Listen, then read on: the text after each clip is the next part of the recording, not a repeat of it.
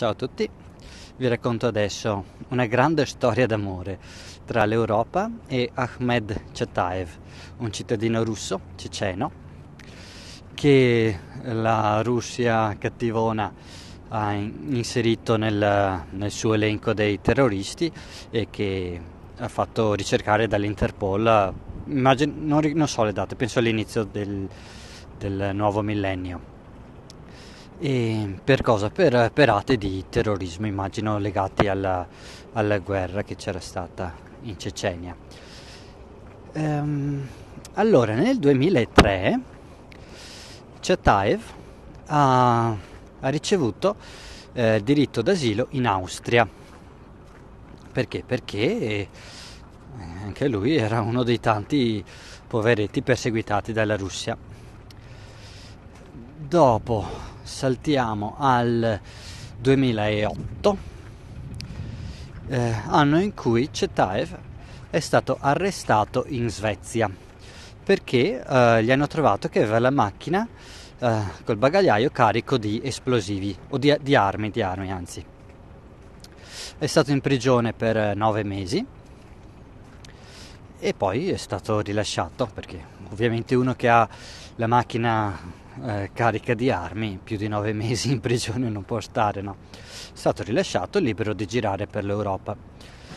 Eh, nel 2010 lo troviamo in Ucraina, arrestato dalla polizia ucraina che ha trovato che aveva eh, sul telefonino, non so come gli hanno fatto trovarlo, però aveva sul telefonino dei, delle foto di... Um, di vittime di attentati terroristici e aveva dei piani, degli schemi per costruire eh, esplosivi.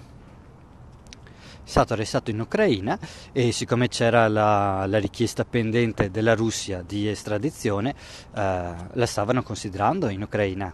Quel tempo, adesso non mi ricordo che governo c'era, ma sicuramente non era così ostile alla Russia come adesso. E, e cosa è successo? Beh, i soliti, i soliti noti di Amnesty International e della Commissione eh, per i diritti umani eh, del, dell'Unione Europea eh, hanno richiesto, hanno fatto richiesta all'Ucraina di non estradare questo, questo personaggio. Eh, se trovo i documenti vi metto in descrizione in caso non ci credete che la Commissione europea eh, si è unita, no, eh, la Commissione dei diritti umani dell'Unione Europea si è unita a questa richiesta. Hanno chiesto all'Ucraina, hanno detto all'Ucraina no guarda non estradarlo in Russia perché lì sarebbe torturato poverino. Uh, benché non ci sia nessuna traccia, eh, nessuna prova che eh, la tortura avvenga eh, sistematicamente nelle prigioni russe. Possono esserci episodi isolati, ma come al solito pensiamo ai nostri, Stefano Cucchi ed altri, eh, può succedere. Eh, allora, hanno detto no, non, non fate l'estradizione e l'Ucraina eh, ha obbedito, quindi non ha mandato Chataev in Russia e l'ha lasciato libero di, l'ha, rimesso in libertà. Uh, passiamo al 2011 mi pare e ancora questo personaggio viene bloccato in Bulgaria uh, veniva dalla Turchia le guardie di confine tra Turchia e Bulgaria l'hanno, l'hanno bloccato l'hanno arrestato è ancora processo di estradizione, ancora bloccato, eh, non so perché l'hanno arrestato sinceramente. E vabbè, e dopo cosa è successo di questo signore? Beh, che nel febbraio del 2015 eh, questo si è unito al, all'ISIS, è andato in Siria e, adesso fa parte del, dello Stato islamico. C'è qualcosa di male in tutto questo? Beh, per ora si potrebbe anche lasciar passare. Eh, la tragedia è arrivata a giugno dell'anno scorso, nel 2016, il 28 giugno, eh, aeroporto di Istanbul. Eh, due terroristi si sono fatti esplodere, causando più di 40 morti, mi pare 48, 48 morti che ho visto adesso su Wikipedia, e eh, più di 230 feriti. Ripetiamo i numeri perché per ave- capire un po' la prospettiva.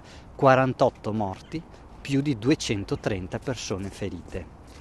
Esplosione all'aeroporto di Istanbul. E, e la mente che ha ideato questa, eh, questo attentato terroristico, sapete chi è? È il nostro Ahmed Chataev. Eh, ci sarebbe ben poco da aggiungere. Eh, l'unica cosa che... Sì, l'osservazione è che in pratica il nemico della Russia viene fatto passare immediatamente come una, un santo, come una persona che ha bisogno di protezione in ogni situazione, senza, guard- senza entrare nemmeno nel merito. Noi in Occidente, o i nostri politici o non so chi per loro, eh, ritiene automaticamente che chi è nemico della Russia sia nostro amico, sia una persona per bene. Pensate un po' anni 80 quando c'era eh, l'invasione, oh, beh, dopo bisogna vedere come la si vuole chiamare, però diciamo l'intervento armato sovietico in Afghanistan, eh, chi era il nostro eroe lì? Era Osama Bin Laden. Osama Bin Laden era l'eroe che lottava contro i cattivi sovietici. E e la, chiudo qui. Ci sono eh, tanti altri episodi di cui si potrebbe parlare, questo, questo l'ho detto perché è abbastanza pesante, insomma, che si dia asilo politico. Voglio dire, può anche essere, voglio dire, se noi avessimo le prove che questa persona verrebbe certamente torturata, eh, vabbè, ci può anche stare che non lo estradiamo, ma non mettiamolo in libertà, teniamolo nelle nostre prigioni piuttosto, facciamo noi le indagini, chiediamo ai russi di collaborare su questo, ma eh, rimettere in libertà una persona così è davvero da folli. Con, questa, con queste note lamentose di protesta vi saluto, buona giornata.